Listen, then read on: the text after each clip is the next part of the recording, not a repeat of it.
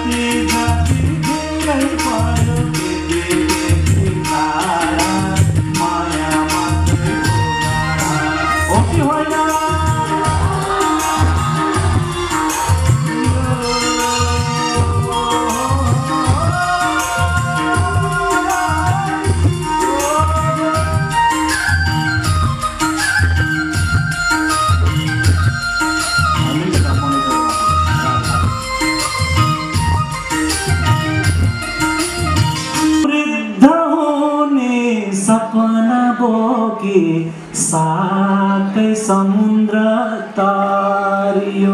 समुद्र तरिरहँदा युवाहरूले देश छोडिरहँदा देश मात्रै होइन घर गाउँ घरै नरमाइलो भएको छ। युवालाई रोक्न सक्यौँ भने हामीले बोलेका कुराहरू सबै सार्थक हुन्छन्। हामीले भाषण गरेका कुराहरू सबै सार्थक हुन्छन्। त्यसैले राजनीतिका फोहोरी खेल नारायणीमै खनाइदेऊ भन्छु म त। राजनीतिका फोहोरी खेल गण्डकीमै खनाइदेऊ पढेपछि जागिर पाइने नयाँ नेपाल बनाइदेऊ।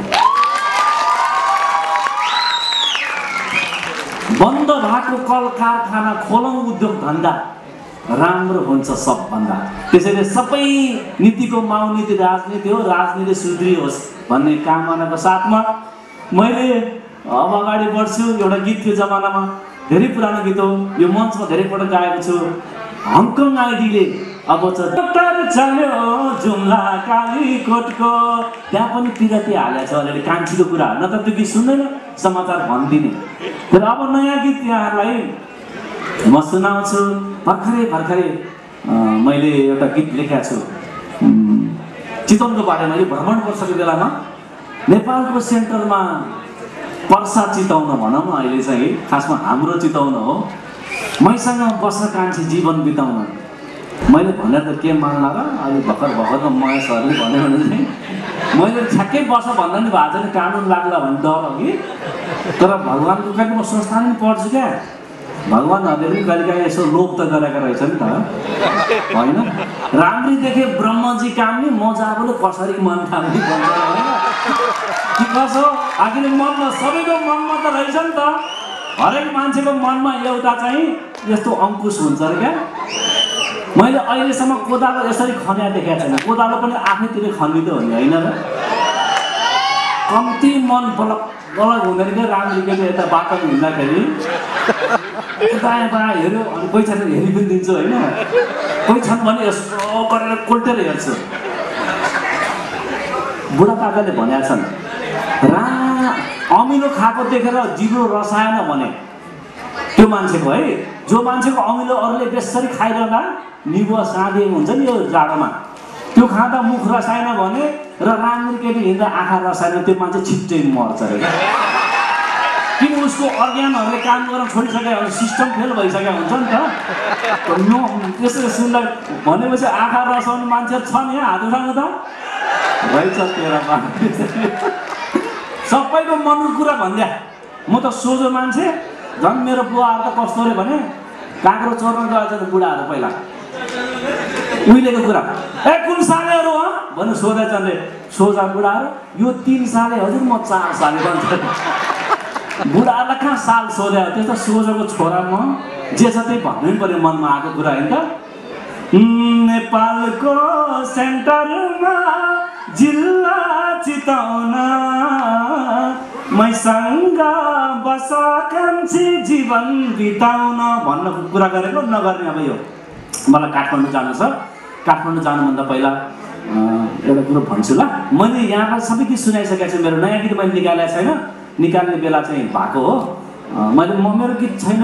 बाबु मन नबोलाउनु भने मैले महेशजीलाई तर पनि हामीलाई आइदिनुहोस् भनेर। फेरि यहाँको पैसा लानु पनि मन छैन। उहाँले कति दिने हो? धुर्म सुन्दरीको फाउन्डेसनलाई मलाई थाहा छैन। तर मैले आज पाउने चाहिँ कति हो भनेको सस्तोमा आएर गाडी बिस हजार रे पाँच हजार चाहिँ मैले बाटो खर्च लान्छु ट्याक्सी भाडा।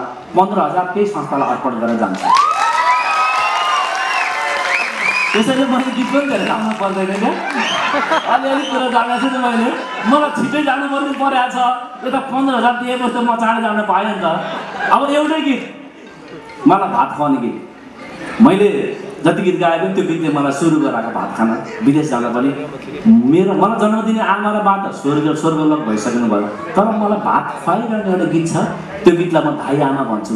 त्यो धाई आमा गीत हो माझीलाई पोखरा फेवा तालको है त? रमाइलो गर्दा कति